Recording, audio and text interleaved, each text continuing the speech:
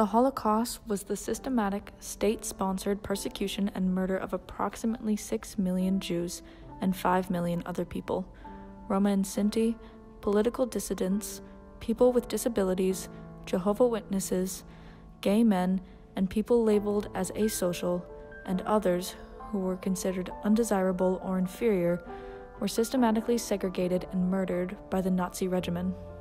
It is the most well documented crime in history, yet, as with all genocides, there is a dangerous agenda of denial that is run through the beginning, middle, and end that we must continue to overcome through education.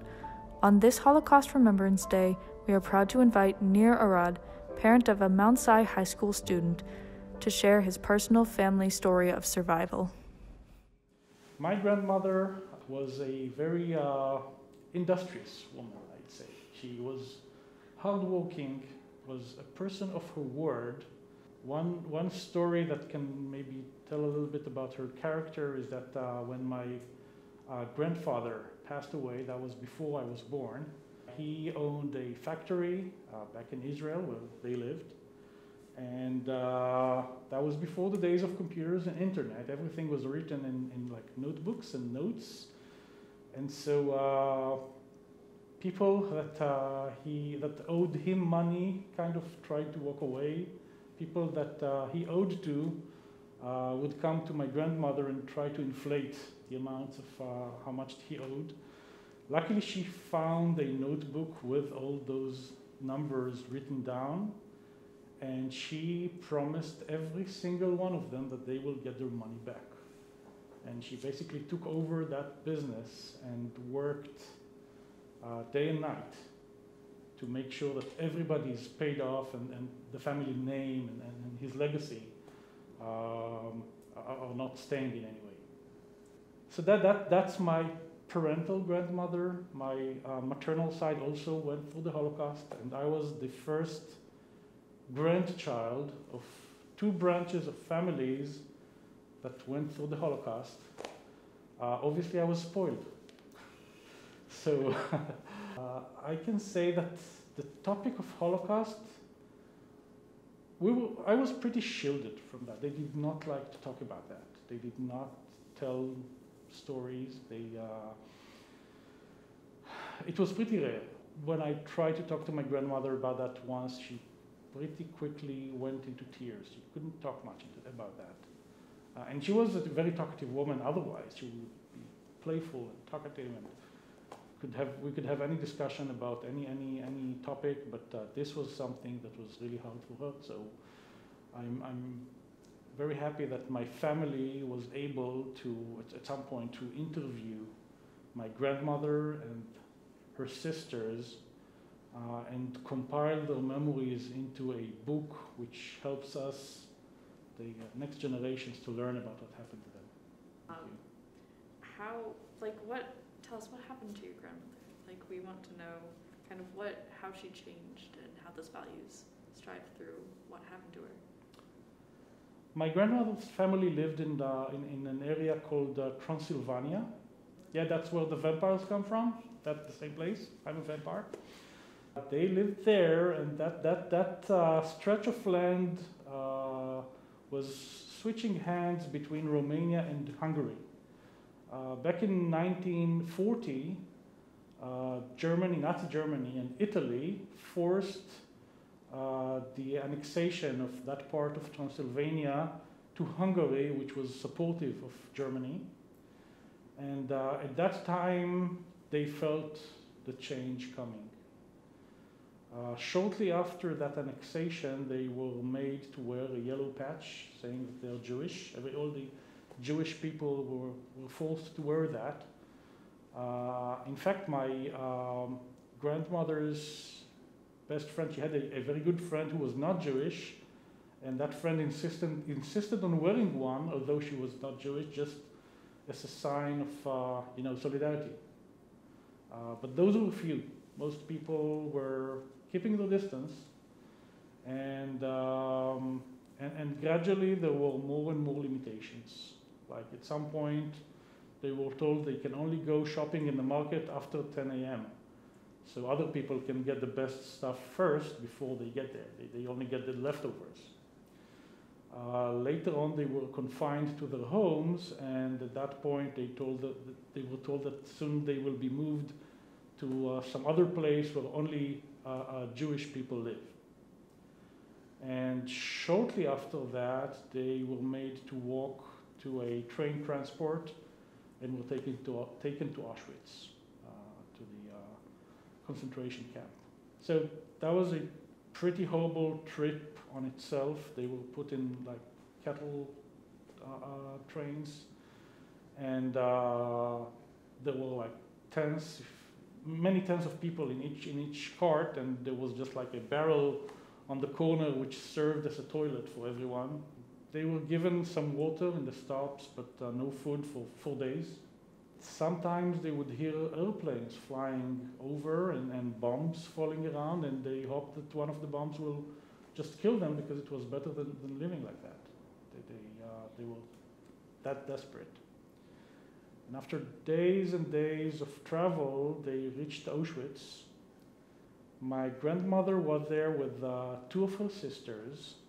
Uh, a fourth sister uh, lived in another town and worked in another town, so she was separate from them. Uh, and my grandmother was also holding on to her uh, younger brother, uh, who was really, uh, I think, under 10, maybe 9, maybe 8. Um, and she walked out of that train and uh, there stood uh, Josef Mengele. I don't know if uh, anyone here heard the name, but uh, he, he, he was known as the angel of death. He was a medical doctor who was experimenting on um, prisoners, on, on, Jewish people or other people. He was especially known for taking twins and conducting various medical Uh, uh, experiments to see how uh, uh the genetics is affecting or affected by, by those experiments. And, and she saw him. And he told her, hand your younger brother to your parents because you're going right and they are going left. And right meant live, left means die and she had to hand her brother over. He didn't say, say that. He just said, hand, hand him over because you're going, you're going this way. Uh, and and, and uh, yeah, and she never saw her uh, parents and, and brother again. Um, so she went with her two sisters. Uh, they were in Auschwitz for a while. It was the, the, uh, conditions obviously were horrible. Uh, the, the food was like, the, there was a story about this like coal soup that they had to eat because there was nothing else. That was the only thing that could provide some nourishment, and uh, uh, and, and and it was really hard to uh, digest that thing, but they had to because they had no choice. And a couple of days after they arrived there, uh, they were they were forced, you know, to stand outside on the on the field and, and, and uh, uh, go to uh, do some work. Um, but they were able to find the fourth sister standing in one of the other groups and they managed to do a swap because the sister was with a uh, uh, another friend of hers, and they were with a cousin of that friend. So they swapped the sister with the cousin, so all four sisters are together. And from that point, they did not let anyone uh, uh, uh, uh get separate. Uh, and that's basically what kept them through Auschwitz, because when one was sick, the others covered for her. They would get her food, they would do her work, they would do anything to keep all of them together and alive. And they all, all four of them survived Auschwitz. And, and, and that, that's the only known story of four sisters making it alive out of there. Um, and after that, uh, at some point when it was clear that the Germans are losing the war, they made them march for days and days uh, they didn't just leave them at Auschwitz. They, they uh, took them, I think, into Germany, um, towards Germany. I'm not, I'm not sure about the exact path, but they had to march for many days.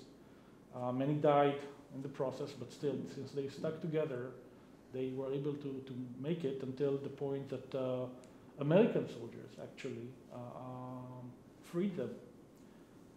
Uh, and after that, they made their way back home to see if anyone else is alive. Uh, and that, that was pretty much the duration of the war. And, and, and that, that's the story I, I wanted to tell. Like growing up in this family and having this background, how, how has that influenced you as a person? I think later on when I, when I grew up and I was, was mature enough to understand what they went through and how holding to who they were and to the values that they cherished helped them get through that and uh, uh, basically saved them. I, I, I, I, grew up to admire that. How, what do you want people to know about the Holocaust? So, growing up in Israel, there is a certain number that is uh, strongly associated with the Holocaust, and that number is six million. And that's the number of uh, Jewish people who were killed during the, the, the Holocaust by, by, the Nazis. obviously, the total number is much higher, but whenever somebody in Israel says six million, that would be the first association.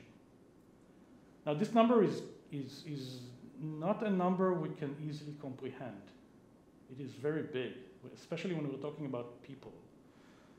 So trying to visualize that, and you know, I'm trying to do that uh, uh, uh only for the, the, purpose of this visualization, so uh, I hope nothing I say will be taken out of context, but think about you know, you come to uh, Mount Si High School and there's like a game maybe, and everybody's there. All, all the students are there and there are about like 2,000 students, I think, in Mount Si, so maybe a little bit more. So you know what 2,000 people look like, okay? Now imagine the next day you come to school and you're told that they're all gone. They're not here anymore. There are new 2,000 people with hopes, dreams, families, desires, friends, people they don't like, hobbies, wherever. 2,000 other people None of them was here yesterday, they're all new. And then next day again and again. After five days of a uh, uh, learning week, that, that, that's 10,000 people. To see 6 million people, you'll have to go through those 2,000 people every day from first grade to 12th grade throughout your school years. That's, that that's when it will get to 6 million people. Okay, 2,000 people every day for 12 years. So that's what I want people to remember. Um, and now we're going to kind of close it off and uh, with the question of, do you think your family has had closure with what's happened and why or why not? So yeah, that you're asking me some tough questions here. And I must say, I, I don't think there can be a personal or family or a closure at a personal or a family level. The, the, the scars are there forever, and only, you know, uh, uh, some are taken away when people pass away. Obviously, I don't feel it to the same degree that my grandmother mother felt it, uh, but it's not gone. Uh, surprisingly, there is some closure at the national level At least that's the way I feel about uh, uh, the fact that last year, for the first time, an Israeli Air Force squadron of fighter jets landed in Germany for a joint exercise with the German army. And uh, you can only imagine the excitement of the uh, uh, team that was doing that. And they quoted the commander of, of that squadron talking about his feelings uh, yeah, being in a place where we are not afraid for our lives, where we can uh, uh, fight for our lives and, and, and, and maybe today even make amends uh, with the uh, uh, country and the people who did that to us, I definitely see that as, as a kind of.